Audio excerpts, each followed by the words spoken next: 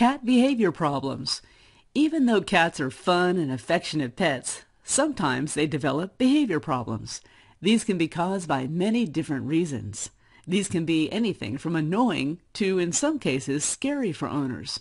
In this article, we'll look at some of the most common cat behavior problems and how you should address them. Basic guidelines for cat behavior problems. There are many factors that you have to consider when you have a problem with your cat. Ask yourself a few questions.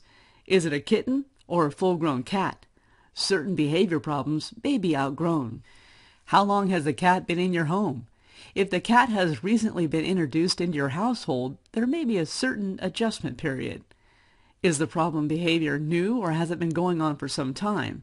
If it's new, try to identify anything different that's been going on, such as a change in schedule or the cat's diet. Could there be a medical reason for the problem? It's generally a good idea to take a cat to the veterinarian for a checkup if you start noticing any problems. The first thing you want to do is rule out any medical cause. Now let's look at some of the more common behavior problems that cat owners must deal with. Litter box problems. Most litter box problems involve the cat not using the litter box properly. In some cases, she may pee or defecate right next to the litter box. Sometimes cats may simply ignore the litter box. This is an especially annoying and unsanitary problem for cat owners. Here are a few possible solutions. Try different types of litter. There are several different varieties of litter, such as clumping litter, clay, pine pellets, and litter made from recycled paper. There are also litters with various scents. While you may have your own preferences due to the ease of cleaning up the litter box or odor, you have to consider what the cat prefers. Sometimes changing litters can alleviate litter box problems. Are multiple cats sharing a litter box? Sometimes a litter box problem is caused when more than one cat uses the same litter box. There may be issues of territoriality or bullying. Getting a second litter box and placing it in a different location can sometimes solve this type of issue. Change the location. Try moving the litter box to a different location. Try Cat Attract. There are products such as Cat Attract and others that are designed to make litter more appealing to cats. Let the cat go outdoors. This is not an ideal solution for everyone. Depending on where you live, it may not be safe to let your cat out. However, some cats prefer the outdoors to litter boxes, so this can in some cases solve this type of problem. Check for urinary infection. If other solutions don't work, you should have your cat checked to make sure she doesn't have a urinary infection or other medical problem. Aggression in cats. Aggression may not be the most common cat behavior problem, but it's certainly the most serious and potentially disturbing. Despite their relatively small size, domestic cats, like their larger cousins, have sharp claws and teeth, giving them the ability to inflict serious harm on humans and other animals. Destroying property is another matter, one that we'll deal with in the next section. As with other problems, you have to consider when the behavior started, how severe it is, and if it can be connected with any obvious causes. If, for example, you have recently adopted a full-grown cat and she's aggressive, this could be the result of traumatic experiences at the shelter, in her former home, or on the street. On the other hand, a cat you've had for a long time who suddenly becomes aggressive has a problem you will have to identify. Here are a few guidelines to keep in mind. Does the cat get enough exercise? One reason cats become aggressive is that they need more physical activity. Start playing with your cat more. You can buy cat toys or simply use a string or a ball that she can chase. As mentioned, some cats do better as outdoor cats, and if circumstances permit it, you may have a better behaved animal if she's allowed some outdoor exercise. Is the cat neutered? Male cats that have not been neutered or fixed are the most likely cats to show aggression. Some owners are not prepared for this, as an animal who may have been very gentle as a kitten suddenly becomes aggressive. Getting your cat neutered is usually a good idea for various reasons, unless you're involved in cat breeding. Watch for signs. Is your cat being aggressive in certain specific situations? Some cats don't like to be touched in a certain way or at certain times. You may find, for example, that it's not a good idea to try to pet your cat while she's on a high place, such as a shelf. This can bring out the predatory or territorial instinct. Is the cat in pain? Aggression can be a response to pain. If the cat has an injury or illness, it may be causing her to lash out in pain. That's why you should take your cat to the vet if you can't identify the cause of aggression. Destructive to property. While it's better to have your cat ripping apart your furniture, drapes, or carpets than your skin, it's still a problem. Cats being destructive is a very common behavior problem, and one that can be difficult to fix. That's because cats are natural predators who are in a somewhat unnatural environment in a home. That doesn't mean, however, that you simply have to choose between your cat and your belongings. Protect your furniture. If your cat is scratching up your couch or favorite armchair, you could put something like plastic or another protective material over the furniture. Get a scratch post.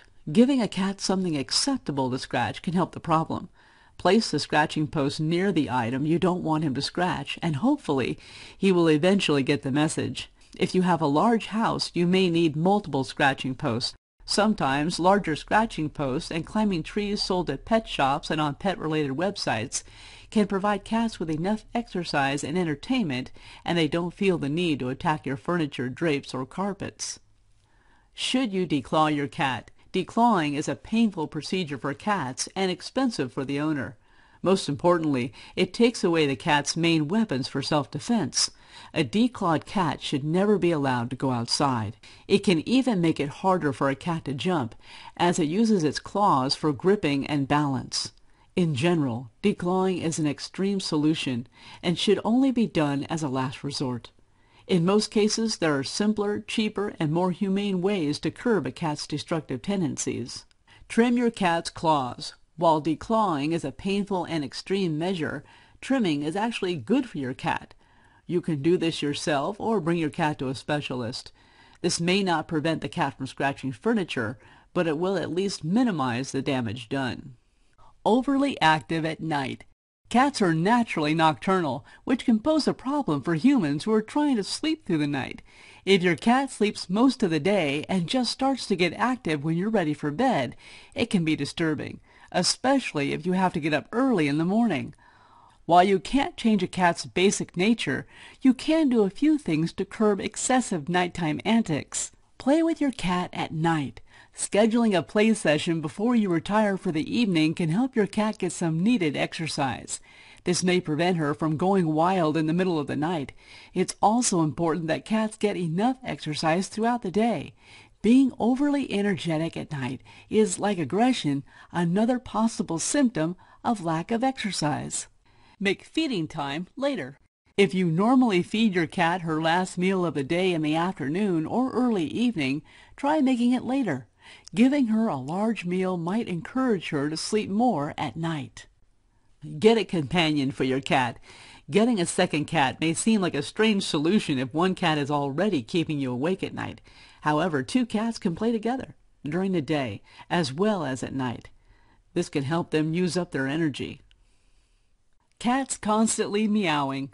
A certain amount of meowing is natural for cats. This is how they express themselves. If, however, she's meowing all day and night, it can be a real nuisance. There are a number of reasons for this. Meowing for food. Cats are often vocal when they're hungry. Don't make the mistake of giving your cat extra food whenever she meows. This will only teach her that this is an effective method to get fed. You may experiment with changing feeding times. Don't, however, let your cat train you into feeding her every time she meows. Seeking attention. Meowing can be one of your cat's ways of letting you know she wants attention or wants to play. As mentioned, make sure your cat is getting enough play and exercise. Medical problem. Excessive meowing can be a symptom of pain or illness. This is another time when you should take your cat to the vet to find out what's going on. Cat behavior problems come in many varieties. In the majority of cases, they can be solved with some creativity and by identifying the source of the problem. You should always look for clues regarding the origin of any behavior issues. Since cats can't talk to you, they may express anxiety, frustration, or resentment by acting out in certain ways. In other cases, there may be an undiagnosed medical issue, once you find out why your cat is exhibiting the unwanted behavior, you can come up with a strategy to change it. ForTheLoveOfCat.com is dedicated to you and your feline friends. Ask any question about cats in the comments section. Click in the video or links below to watch more great cat care videos. Subscribe to this YouTube channel.